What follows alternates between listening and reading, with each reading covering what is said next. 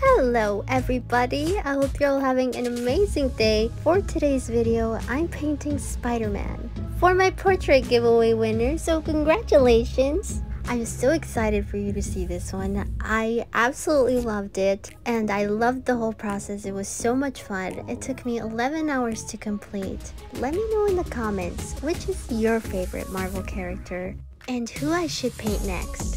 I honestly can't decide. It's just too difficult for me because I love Marvel. I think I have like top three. I have Iron Man, Deadpool, and Spider-Man.